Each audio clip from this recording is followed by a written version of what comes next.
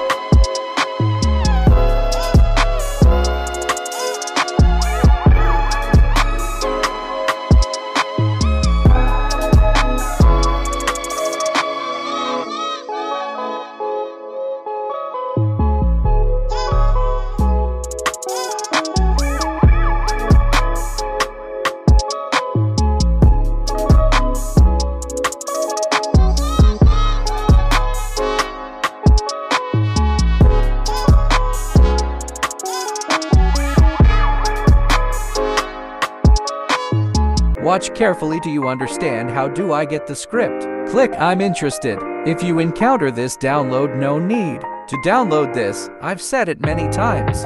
All you have to do is click the download when you are taken to another website just close it or come back to this link. Like this. Now after you do that, then press the text below say I already completed the offer. It will take you to the next destination.